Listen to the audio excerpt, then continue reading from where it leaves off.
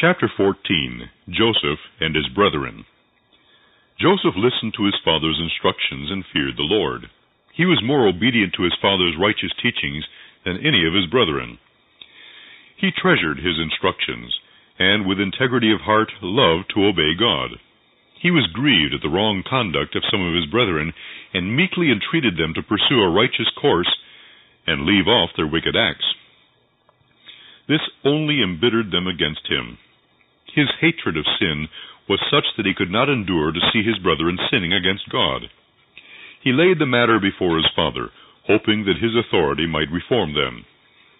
This exposure of their wrongs enraged his brethren against him. They had observed their father's strong love for Joseph and were envious at him. Their envy grew into hatred and finally to murder. The angel of God instructed Joseph in dreams, which he innocently related to his brethren. For behold, we were binding sheaves in the field, and lo, my sheaf arose and also stood upright, and behold, your sheaves stood round about and made obeisance to my sheaf. And his brethren said to him, Shalt thou indeed reign over us, or shalt thou indeed have dominion over us? And they hated him yet the more for his dreams and for his words. And he dreamed yet another dream, and told it to his brethren, and said, Behold, I have dreamed a dream more. And behold, the sun and the moon and the eleven stars made obeisance to me. And he told it to his father and to his brethren, and his father rebuked him, and said unto him, What is this dream that thou hast dreamed? Shall I and thy mother and thy brethren indeed come to bow down ourselves to thee to the earth? And his brethren envied him, but his father observed the saying. Jacob appeared to regard the dreams of his son with indifference. But he had been often instructed by the Lord in dreams himself, and he believed that the Lord was teaching Joseph in the same manner. He reproved Joseph that his true feelings might not be discovered by his envious brothers. Jacob's sons were shepherds and fed their flocks where they could find the best pastures. In traveling from place to place with their cattle, they often wandered a great distance from their father's house, so that they did not see their father for several months at a time. In his anxiety for them, he sent Joseph to see if they were all well. With the true interest of a brother, Joseph searched for his brethren, where his father supposed he would find them, but they were not there. A certain man found him wandering in the field in search of his brethren, and directed him to Dothan. This was a long journey for Joseph, but he cheerfully performed it, because he loved his brethren, and also wished to relieve the anxiety of his father. But he was illy repaid for his love to them and obedience to his father. And when they saw him afar off, even before he came near unto them, they conspired against him to slay him. And they said one to another, Behold, this dreamer cometh. Come now therefore, and let us slay him, and cast him into some pit. And we will say, Some evil beast hath devoured him. And we shall see what will become of his dreams. And Reuben heard it, and he delivered him out of their hands, and said, Let us not kill him. And Reuben said unto them, Shed no blood, but cast him into this pit that is in the wilderness, and lay no hand upon him, that he might rid him out of their hands, to deliver him to his father again. Joseph, unsuspicious of what was to befall him, approached his brethren with gladness of heart to greet them after his long, wearisome journey. His brothers rudely repulsed him. He told them his errand, but they answered him not. Joseph was alarmed at their angry looks. Fear took the place of joy, and he instinctively shrank with dread from their presence. Then they took hold of him violently.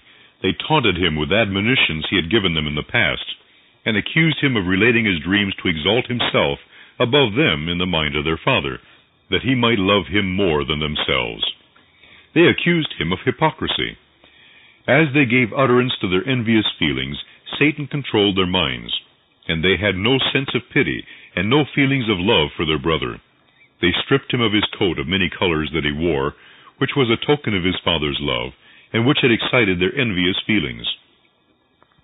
Joseph was weary and hungry, yet they gave him neither rest nor food. And they took him and cast him into a pit, and the pit was empty, there was no water in it. As Judah thought of Joseph lying in the pit, suffering a lingering death by starvation, he was troubled. For a short time he, with the others of his brethren, seemed to possess a satanic frenzy. But after they had begun to accomplish their wicked purposes to the helpless, innocent Joseph, some of them were ill at ease. They did not feel that satisfaction they thought they should have to see Joseph perish. Judah was the first to express his feelings. He said unto his brethren, What profit is it if we slay our brother and conceal his blood? Come, and let us sell him to the Ishmaelites, and let not our hand be upon him. For he is our brother and our flesh and his brethren were content. Then there passed by Midianites, merchantmen, and they drew and lifted up Joseph out of the pit, and sold Joseph to the Ishmaelites for twenty pieces of silver. And they brought Joseph into Egypt. The thought of being sold as a slave was more dreadful to Joseph than to die. He manifested the deepest anguish, and appealed first to one of his brethren, then to another, for compassion. Some of their hearts were moved with pity, but through fear of derision from the rest, kept silent. They all thought they had gone too far to repent of their acts. For Joseph might expose them to their father, and he would be exceedingly angry with them for their treatment of his much loved Joseph. They steeled their hearts against his distress, and would not listen to his entreaties, for his father's sake, to let him go, but sold him as a slave. Reuben went away from his brethren, that they might not learn his purpose in regard to Joseph. He advised them to put him in the pit, and designed to return and take him to his father. And Reuben returned unto the pit, and behold, Joseph was not in the pit. And he rent his clothes, and he returned unto his brethren, and said, The child is not, and I, whither shall I go? His brethren told him that they had sold Joseph. And they took Joseph's coat, and killed a kid of the goats, and dipped the coat in the blood. And they sent the coat of many colors, and they brought it to their father, and said, This have we found. Know now whether it be thy son's coat or no. They caused their father intense anguish, as he pictured to himself the violent death his son must have suffered by being torn in pieces by wild beasts. His sons had not imagined that their father's grief would be so deep. All his children tried to comfort him, but he refused to refrain from his grief.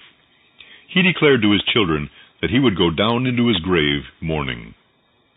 Joseph's brethren flattered themselves that they were taking a sure course to prevent the fulfillment of Joseph's strange dreams. But the Lord controlled events and caused the cruel course of Joseph's brethren to bring about the fulfillment of the dreams which they were laboring to frustrate. Joseph was greatly afflicted to be separated from his father, and his bitterest sorrow was in reflecting upon his father's grief. But God did not leave Joseph to go into Egypt alone. Angels prepared the way for his reception. Potiphar, an officer of Pharaoh, captain of the guard, bought him of the Ishmaelites. And the Lord was with Joseph, and he prospered him, and gave him favor with his master, so that all he possessed he entrusted to Joseph's care. And he left all that he had in Joseph's hand, and he knew not aught he had save the bread which he did eat. It was considered an abomination for a Hebrew to prepare food for an Egyptian. When Joseph was tempted to deviate from the path of right, to transgress the law of God, and prove untrue to his master, he firmly resisted, and gave evidence of the elevating power of the fear of God in his answer to his master's wife. After speaking of the great confidence of his master in him by entrusting all that he had with him, he exclaims, How then can I do this great wickedness and sin against God?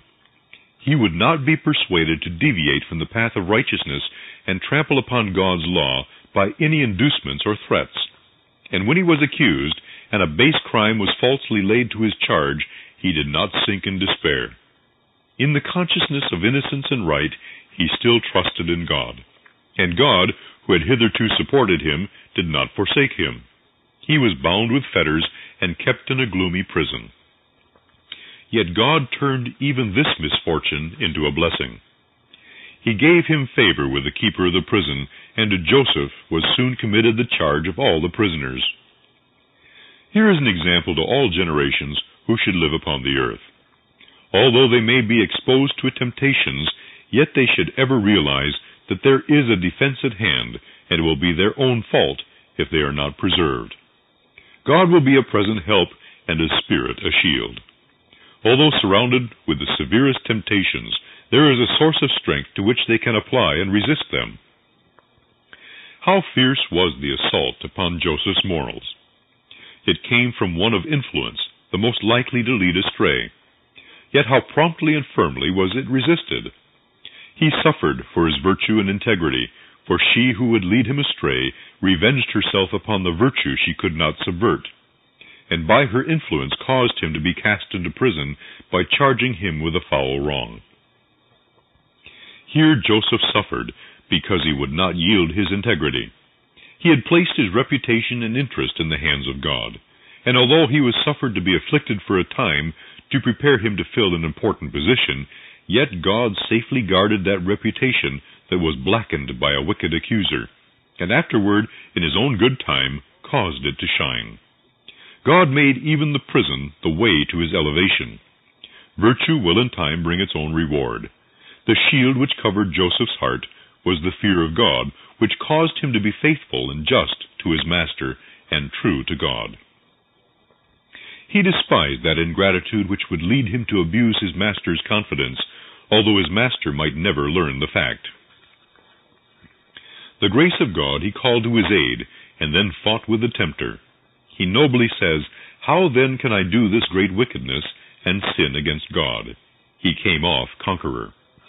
Amid the snares to which all are exposed, they need strong and trustworthy defenses on which to rely. Many in this corrupt age have so small a supply of the grace of God that in many instances their defense is broken down by the first assault, and fierce temptations take them captives. The shield of grace can preserve all unconquered by the temptations of the enemy, though surrounded with the most corrupting influences. By firm principle and unwavering trust in God, their virtue and nobleness of character can shine, and although surrounded with evil, no taint need be left upon their virtue and integrity. And if, like Joseph, they suffer calumny and false accusations, providence will overrule all the enemy's devices for good, and God will, in his own time, exalt as much higher as for a while they were debased by wicked revenge. The part which Joseph acted in connection with the scenes of the gloomy prison was that which raised him finally to prosperity and honor. God designed that he should obtain an experience by temptations, adversity, and hardships to prepare him to fill an exalted position. While he was confined in prison, Pharaoh became offended with two of his officers, the chief baker and the chief butler, and they were put in the prison where Joseph was bound. And the captain of the guard charged Joseph with them, and he served them. And they continued a season in ward. Joseph made his life useful even while in prison. His exemplary conduct, humble deportment, and faithfulness obtained for him the confidence of all in the prison, and those who were connected with it. He did not spend his time in mourning over the injustice of his accusers, which had deprived him of his liberty. One morning, as Joseph brought food to the king's officers, he observed that they were looking very sad. He kindly inquired, Wherefore look ye so sadly today? And they said unto him, We have dreamed a dream, and there is no interpreter of it. And Joseph said unto them, do not interpretations belong to God? Tell me them, I pray you. Then the butler related to Joseph his dream, which he interpreted that the butler would be restored to the king's favor, and deliver Pharaoh's cup unto his hand, as he had formerly done. The butler was satisfied with the interpretation, and his mind was at once relieved. Joseph told the chief butler that in three days he would be no more a prisoner. He felt very grateful to Joseph, because of the interest he had manifested for him and the kind treatment he had received at his hands, and above all, for helping him when in great distress of mind by interpreting his dream. Then Joseph, in a very touching manner, alluded to his captivity, and entreated him, But think on me when it shall be well with thee, and show kindness, I pray thee, unto me, and make mention of me unto Pharaoh. And bring me out of this house, for indeed I was stolen away out of the land of the Hebrews, and here also have I done nothing that they should put me into the dungeon. When the chief baker saw that the interpretation was good, he took courage and made known his dream. As soon as he related his dream, Joseph looked sad. He understood its terrible meaning. Joseph possessed a kind, sympathizing heart, yet his high sense of duty led him to give the truthful, yet sad interpretation to the chief baker's dream. He told them that the three baskets upon his head meant three days, and that, as in his dream, the birds ate the baked meats out of the upper basket, so they would eat his flesh as he hung upon a tree. And it came to pass the third day, which was Pharaoh's birthday, that he made a feast unto all his servants, and he lifted up the head of the chief butler and of the chief baker among his servants. And he restored the chief butler unto his butlership again, and he gave the cup unto Pharaoh's hand. But he hanged the chief baker, as Joseph had interpreted to them. Yet did not the chief butler remember Joseph, but forgat him. The butler was guilty of the sin of ingratitude. After he had obtained relief from his anxiety by the cheering interpretation of Joseph, he thought that he should, if brought again into the king's favor, certainly remember the captive Joseph and speak in his favor to the king. He had seen the interpretation of the dream exactly fulfilled, yet in his prosperity he forgot Joseph in his affliction and confinement. Ingratitude is regarded by the Lord as among the most aggravating of sins. And although abhorred by God and man, yet it is of daily occurrence. Two years longer Joseph remained in his gloomy prison. The Lord gave Pharaoh remarkable dreams. In the morning the king was troubled, because he could not understand them. He called for the magicians of Egypt and the wise men. The king thought that they would soon help him to understand these dreams, for they had a reputation for solving difficulties.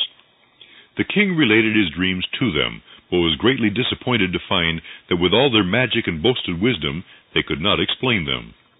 The perplexity and distress of the king increased.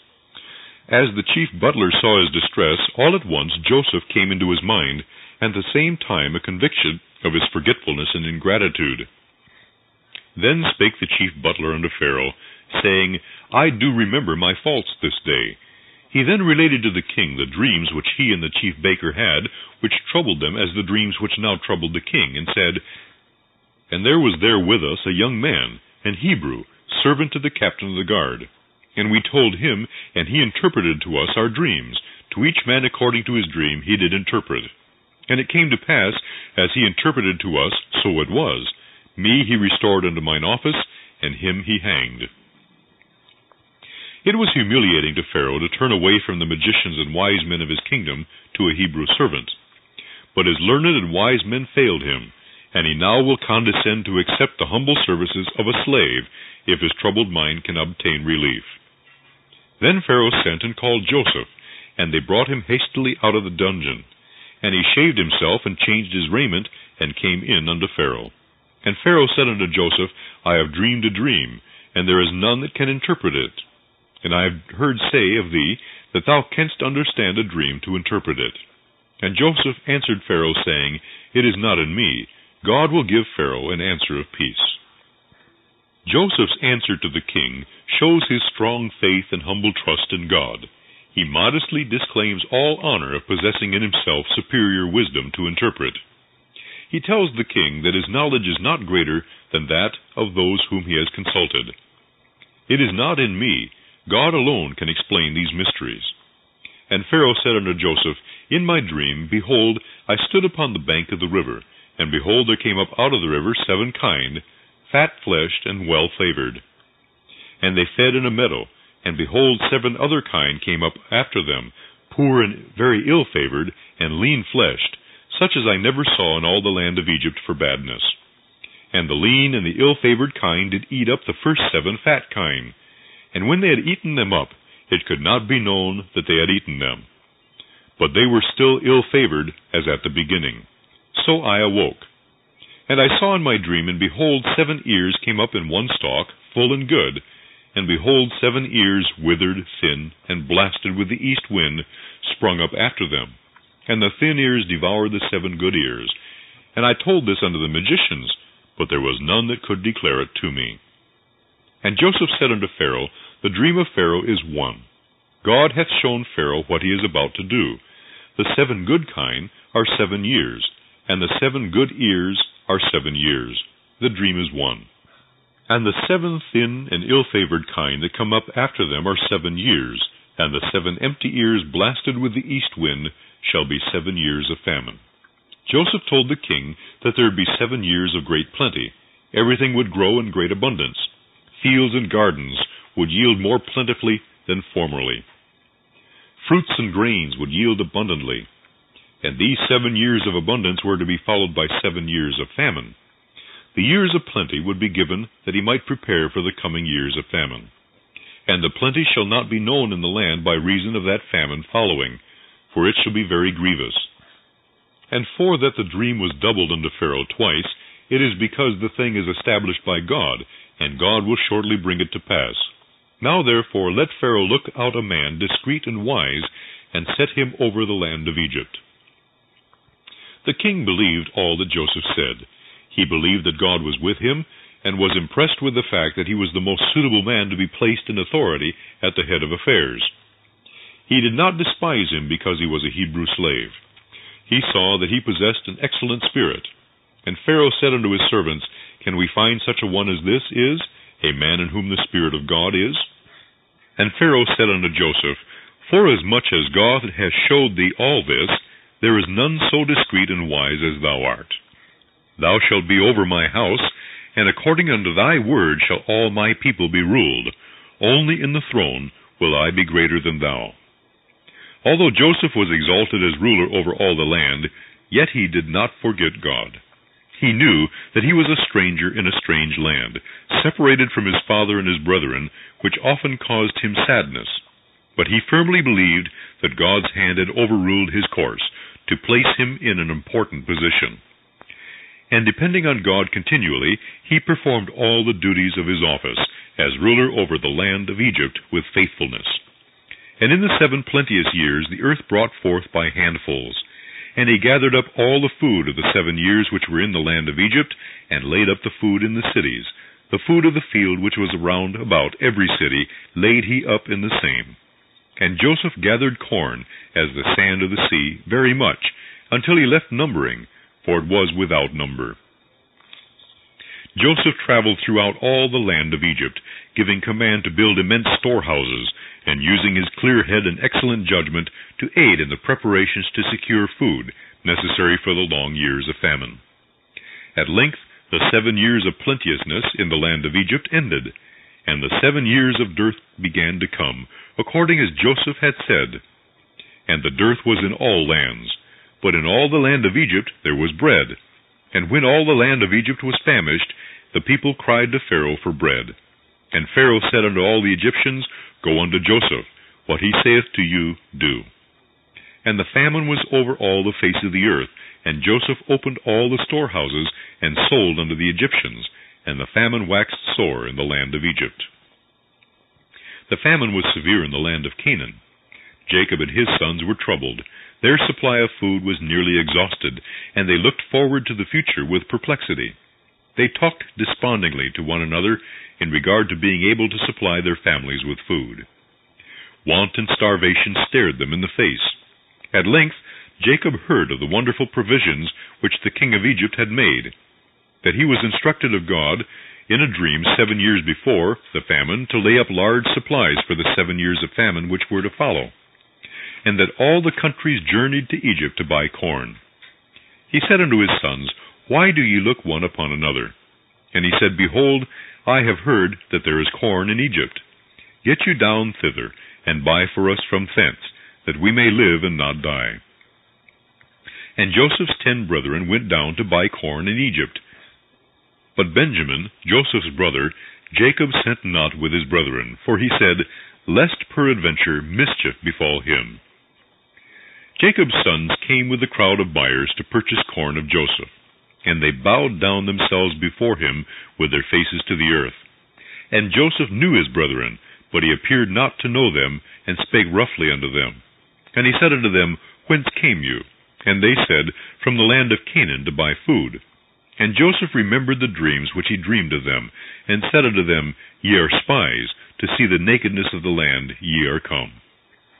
They assured Joseph that their only errand into Egypt was to buy food, Joseph again charges them with being spies. He wished to learn if they possessed the same haughty spirit they had had when he was with them. And he was anxious to draw from them some information in regard to his father and Benjamin. They feel humbled in their adversity, and manifest grief rather than anger, at the suspicions of Joseph.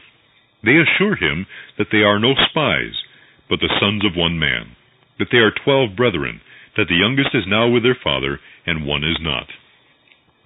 His father and Benjamin are the very ones Joseph wishes to learn in regard to. He professes to doubt the truthfulness of their story and tells them that he will prove them, and that they shall not go forth from Egypt until their youngest brother come hither. He proposes to keep them in confinement until one shall go and bring their brother to prove their words, whether there is any truth in them.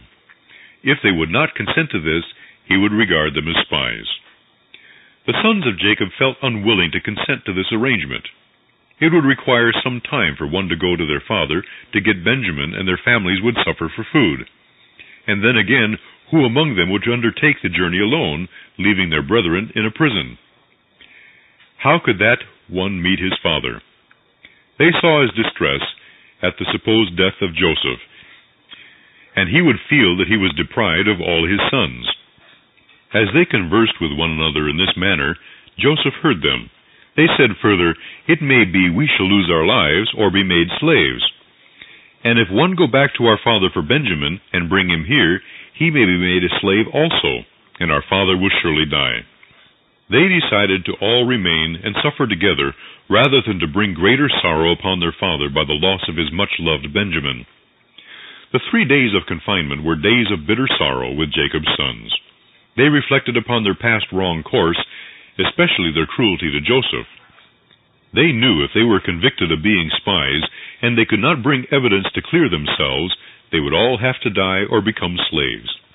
They doubted whether any effort any one of them might make would cause their father to consent to have Benjamin go from him, after the cruel death, as he thought, Joseph had suffered. They sold Joseph as a slave, and they were fearful that God designed to punish them by suffering them to become slaves. Joseph considers that his father and the families of his brethren may be suffering for food, and he is convinced that his brethren have repented of their cruel treatment of him, and that they would in no case treat Benjamin as they had treated him. Joseph makes another proposition to his brethren. And he said unto them the third day, This do and live, for I fear God. If ye be true men, let one of your brethren be bound in the house of your prison. Go ye, carry corn for the famine of your houses, but bring your youngest brother unto me, so shall your words be verified, and ye shall not die. They agree to accept this proposition of Joseph's, but express to one another little hope that their father will let Benjamin return with them. They accuse themselves and one another in regard to their treatment of Joseph. And they said one to another, We are verily guilty concerning our brother, in that we saw the anguish of his soul when he besought us, and we would not hear. Therefore is this distress come upon us. And Reuben answered them, saying, Spake I not unto you, saying, Do not sin against the child? And ye would not hear. Therefore, behold, also his blood is required. And they knew not that Joseph understood them, for he spake unto them by an interpreter. And he turned himself about from them and wept, and returned to them again and communed with them, and took from them Simeon, and bound him before their eyes. Joseph selected Simeon to be bound because he was the instigator and principal actor in the cruelty of his brethren toward him. He then directed that his brethren should be liberally supplied with provision, and that every man's money should be placed in his sack. They pursued their homeward journey in sadness. As one of them opened his sack to feed his beast with provender, he found his money, just as he had brought it to Joseph. He told his brethren, and they considered that a new evil would arise. And they were afraid, and said one to another, What is this that God hath done unto us? Shall we consider this as a token of good from the Lord? Or has he suffered it to occur to punish us for our sins and plunge us still deeper in affliction? They acknowledged that God had seen their sins and has marked their wrongs, and that he is now visiting them for their transgressions. When they came to their father Jacob, they related to him all that had transpired, and said, The man who is the Lord of the land spake roughly to us, and took us for spies of the country. And we said unto him, We are true men, we are no spies. We be twelve brethren, sons of our father.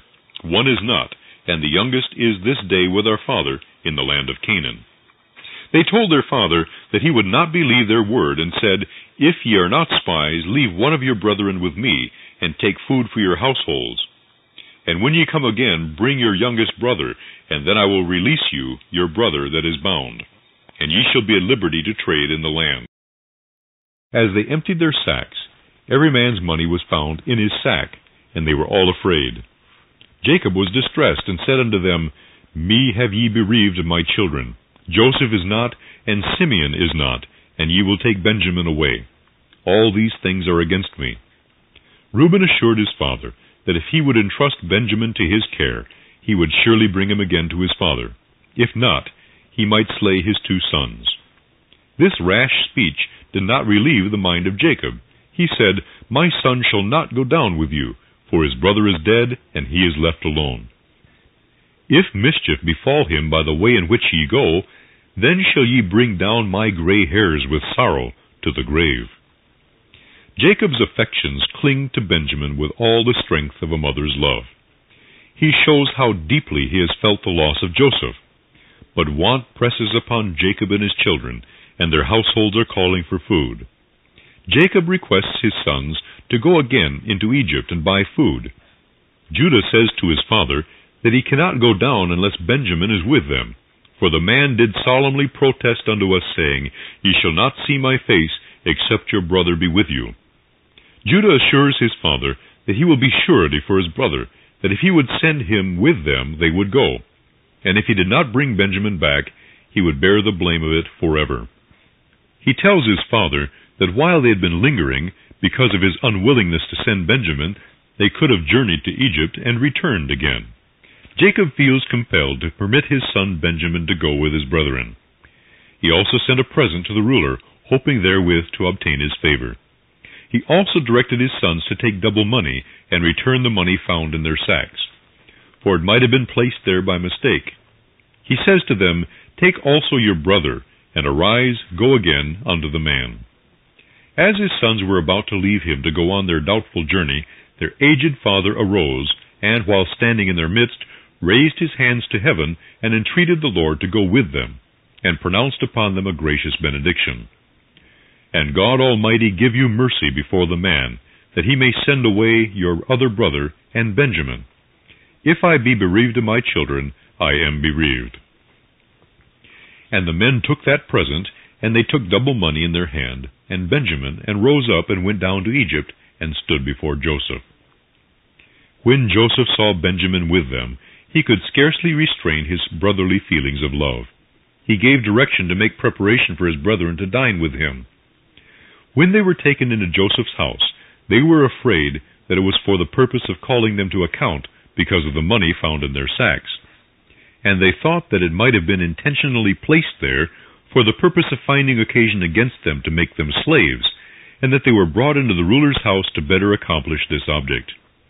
They sought to make friends with the steward of the house, and made known to him that they had found their money in the mouths of their sacks, fearing that the ruler who had treated them so roughly would accuse them of wrong in regard to the matter.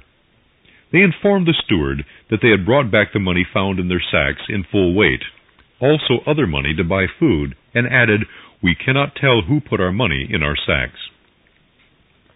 And he said, Peace be to you, fear not.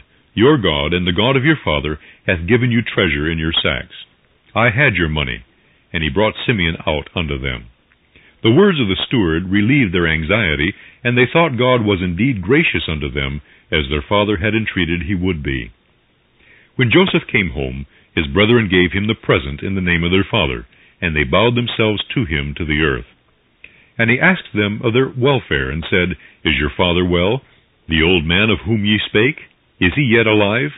And they answered, Thy servant our father is in good health, he is yet alive and they bowed down their heads and made obeisance. And he lifted up his eyes and saw his brother Benjamin, his mother's son, and said, Is this your younger brother, of whom ye spake unto me? And he said, God be gracious unto thee, my son. And Joseph made haste, for his bowels did yearn upon his brother. And he sought there to weep, and he entered into his chamber and wept there. And he washed his face and went out, and refrained himself, and said, Set on bread. Joseph did not eat at the same table with his brethren, for the Egyptians considered it an abomination for them to eat bread with the Hebrews. Joseph placed his brethren at the table, as was customary when their ages were known, commencing with the eldest, according to his birthright, arranging them in order down to the youngest, as though he perfectly knew their ages. His brethren were astonished at this act of Joseph, who they thought could have no knowledge of their ages. As he sent a portion of food to each of his brethren, he sent Benjamin five times as much as the others. He did this not only to show his particular regard for his brother Benjamin, but to prove them, to see if they regarded Benjamin with the same envious feelings they had him. They thought that Joseph did not understand their language and were free to converse with one another in his presence. Therefore Joseph had a good opportunity to learn the true state of their feelings without their knowledge. Joseph again commanded to provide his brethren with food, as much as they could carry, and to put every man's money in his sack's mouth, and to place his silver cup in the sack of the youngest. When his brethren were gone out of the city, Joseph sent his steward to overtake them, and inquire why they had rewarded evil for good by taking the silver cup belonging to the king, whereby indeed he divineth. Kings and rulers had a cup from which they drank, which was considered a sure detective if any poisonous substance was placed in their drink. And they said unto him, Wherefore saith my Lord these words? God forbid that thy servants should do according to this thing. Behold, the money which we found in our sacks' mouths we brought again unto thee out of the land of Canaan. How then should we steal out of thy Lord's house silver or gold? With whomsoever of thy servants it be found, both let him die, and we also will be my Lord's bondmen. And he said, Now also let it be according unto your words. He with whom it is found shall be my servant, and ye shall be blameless. Then they speedily took down every man his sack to the ground, and opened every man his sack, and he searched and began at the eldest, and left at the youngest, and the cup was found in Benjamin's sack. At this discovery all were greatly surprised, and to express their great distress, they rent their garments, which was the custom when in great affliction. Benjamin was more amazed and confounded than his brethren. They returned into the city sorrowful and afraid. They thought that the hand of God was against them for their past wickedness. By their own promise, Benjamin was appointed to a life of slavery, and the fears of their father they thought would be fully realized. Mischief had befallen his much loved Benjamin. Judah had pledged himself to be surety for Benjamin. And Judah and his brethren came to Joseph's house, for he was yet there, and they fell before him on the ground. And Joseph said unto them, What deed is this that ye have done? Wot ye not that such a man as I can certainly divine? Joseph asked this question to draw forth from his brethren an acknowledgment of their past wrong course, that their true feelings might be more fully revealed.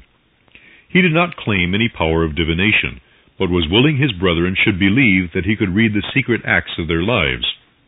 And Judah said, What shall we say unto my Lord? What shall we speak? Or how shall we clear ourselves?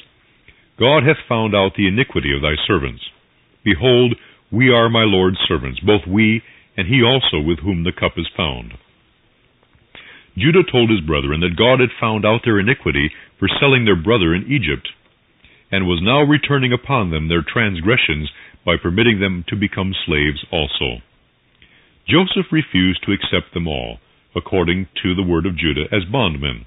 And he said, God forbid that I should do so, but the man in whose hand the cup is found, he shall be my servant. And as for you, get you up in peace unto your father. Judah spoke with Joseph aside from the rest, and related to him the reluctance of his father to let Benjamin come with them to Egypt, and that he pledged himself to become surety for Benjamin, that if he brought him not to his father, he would bear the blame forever. He eloquently pleaded in behalf of his father, relating his great grief at the loss of Joseph, and that Benjamin was all that was left of the mother which his father loved, and that if Benjamin should be separated from his father, he would die, for his life was bound up in the lad's life. Judah then nobly offered to become a slave instead of his brother, for he could not meet his father without Benjamin was with him. Said Judah, Now therefore I pray thee, let thy servant abide instead of the lad a bondman to my lord, and let the lad go up with his brethren. Joseph was satisfied. He had proved his brethren, and had seen in them the fruits of true repentance for their sins. And he was so deeply affected that he could no longer conceal his feelings, and requested to be left alone with his brethren. He then gave vent to his long suppressed feelings, and wept aloud. And Joseph said unto his brethren, I am Joseph. Doth my father yet live? And his brethren could not answer him, for they were troubled at his presence. His brethren could not answer him for astonishment. They could not really believe that the ruler of Egypt was their brother Joseph, whom they had envied and would have murdered, but finally were satisfied to sell as a slave. All their ill treatment of their brother painfully passed before them, and especially his dreams, which they had despised and had labored to prevent their fulfillment. They had acted their part in fulfilling these dreams. Repeatedly had they made obeisance to Joseph according to his dream, and now they stood before him condemned and amazed.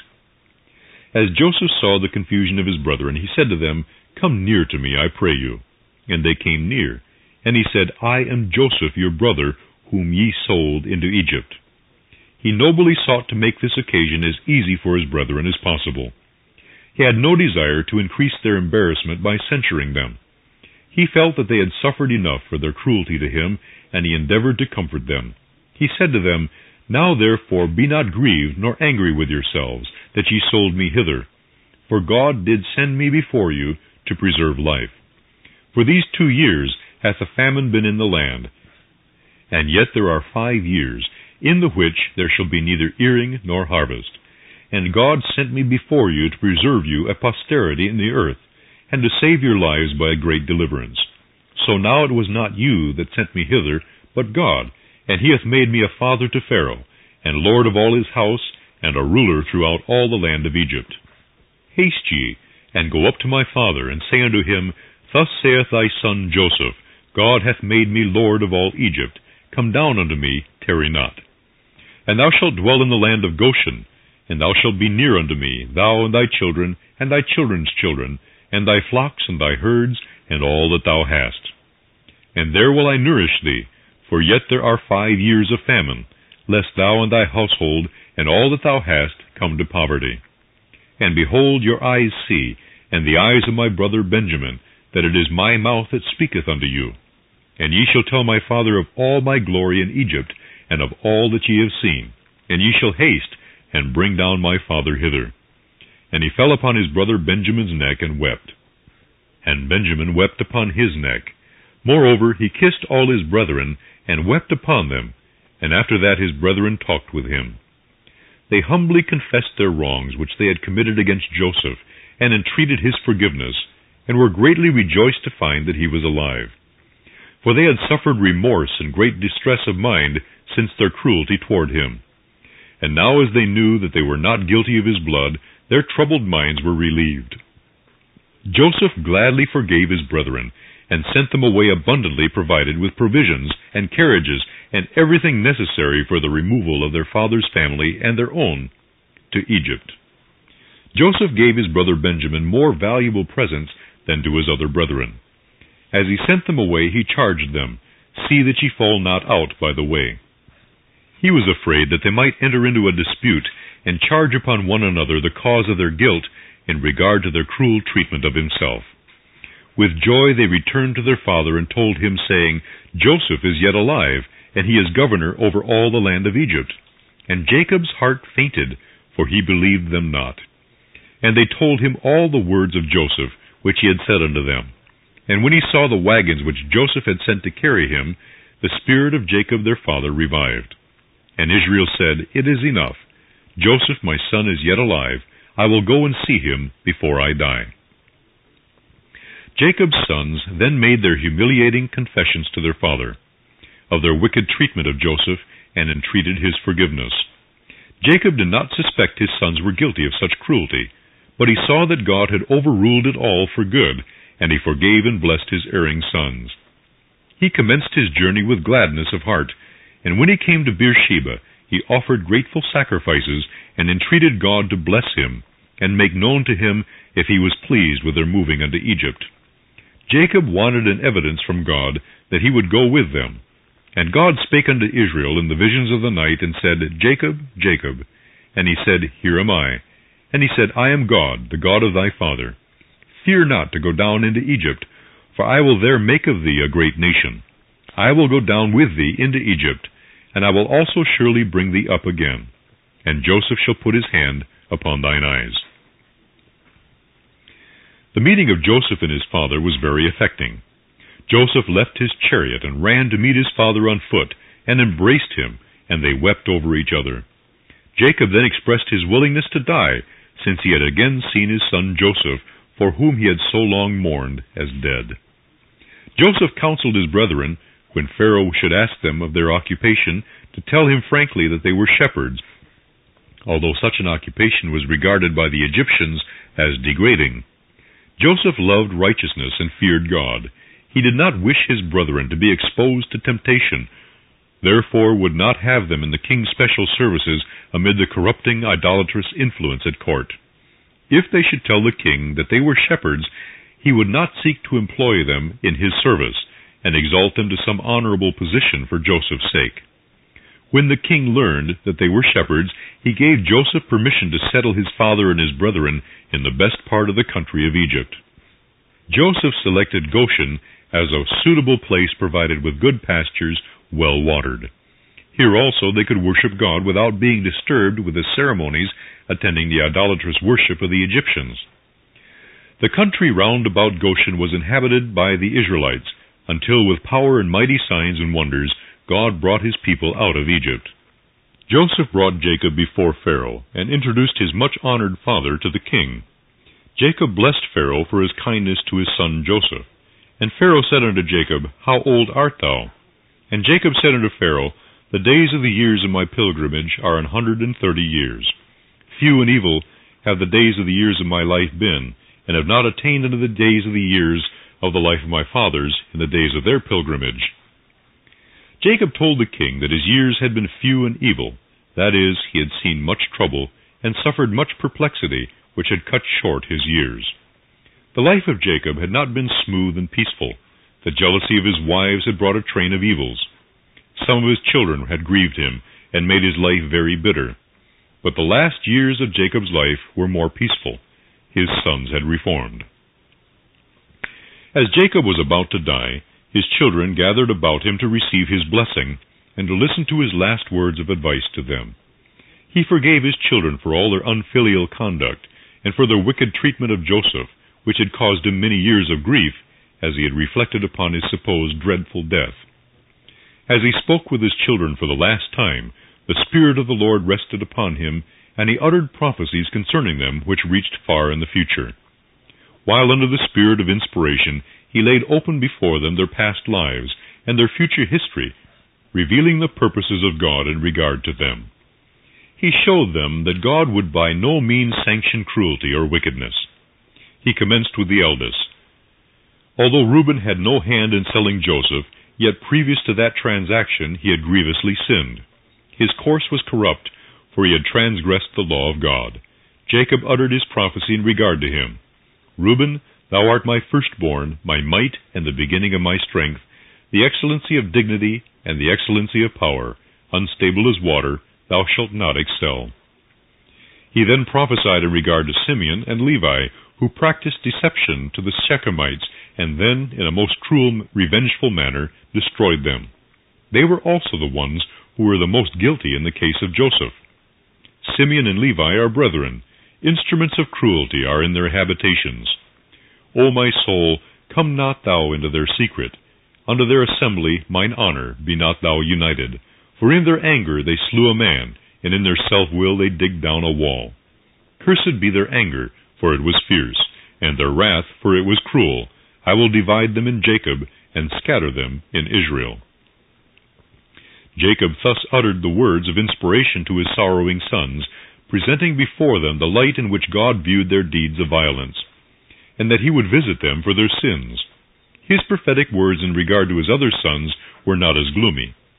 In regard to Judah, Jacob's words of inspiration were more joyful. His prophetic eye looked hundreds of years in the future to the birth of Christ, and he said, The scepter shall not depart from Judah, nor a lawgiver from between his feet, until Shiloh come, and unto him shall the gathering of the people be.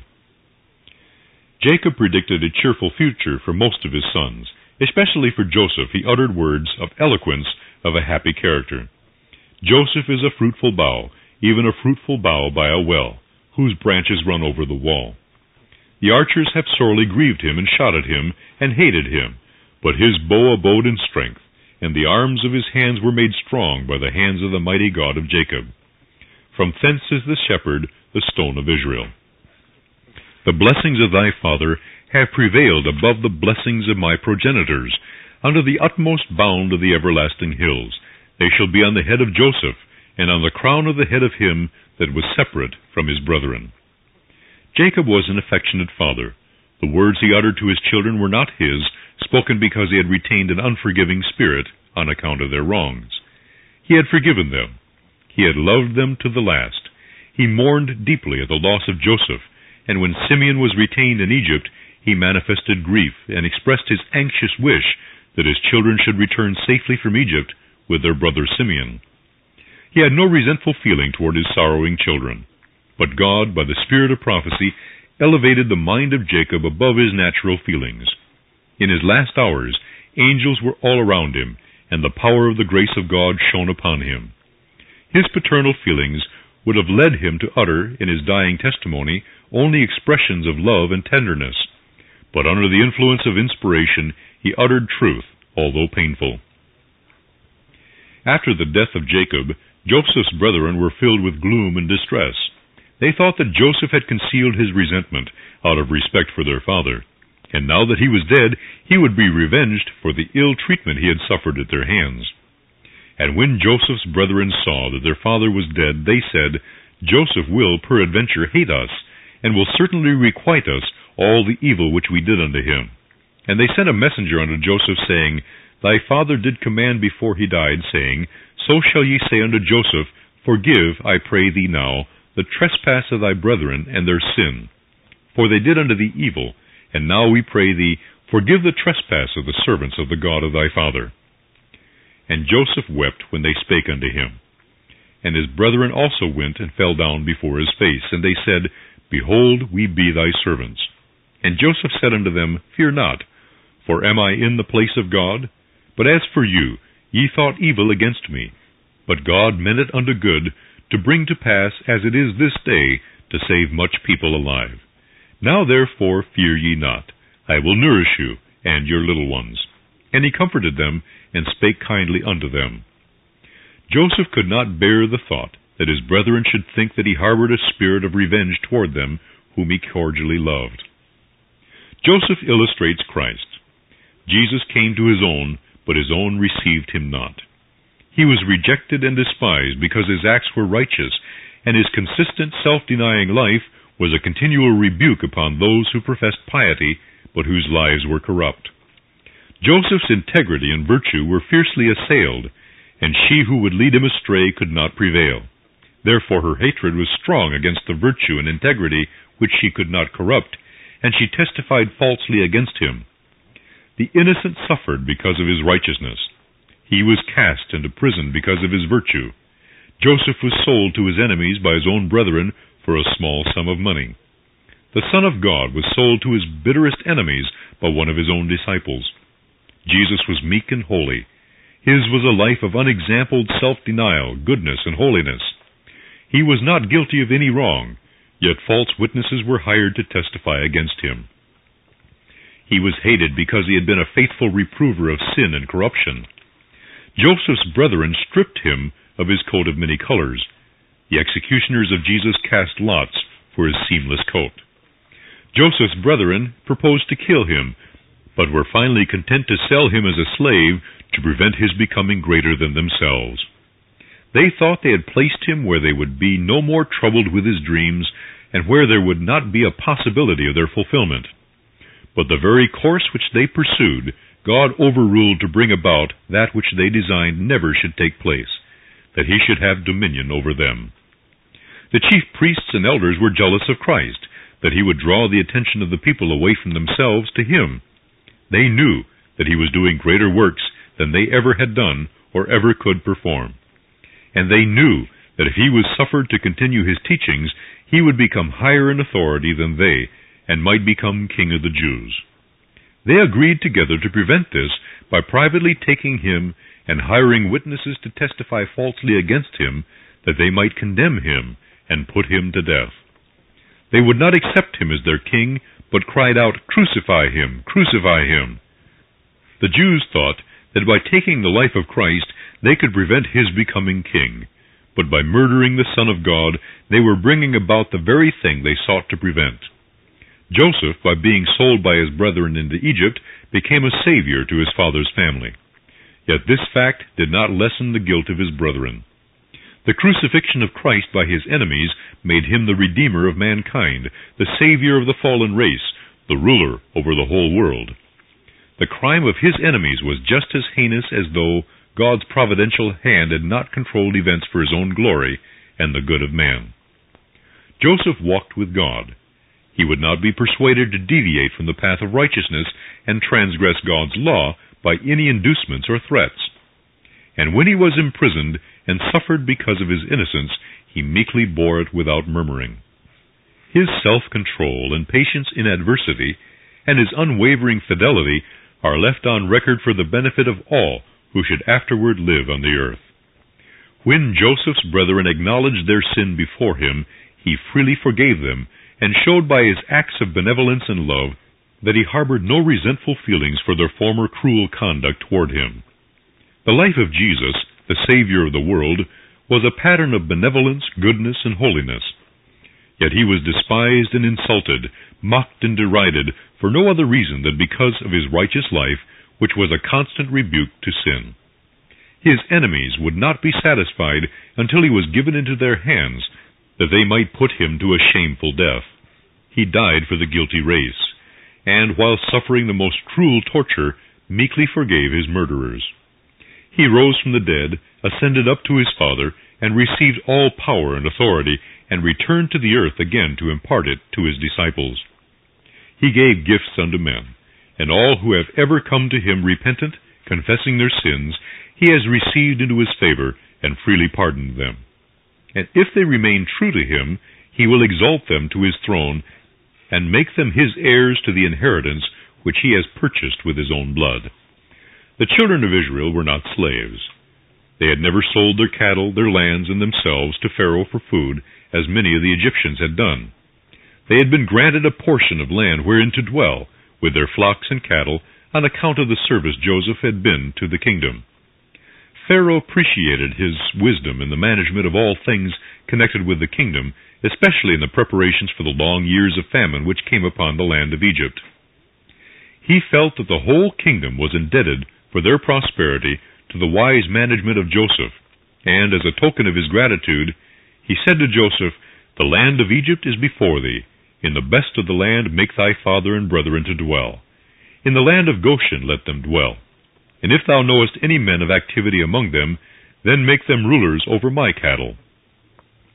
And Joseph placed his father and his brethren, and gave them a possession in the land of Egypt, in the best of the land, in the land of Ramses, as Pharaoh had commanded. And Joseph nourished his father, and his brethren, and all his father's household, with bread according to their families.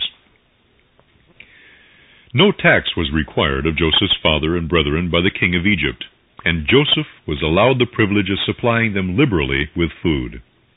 The king said to his rulers, Are we not indebted to the God of Joseph and to him for this liberal supply of food?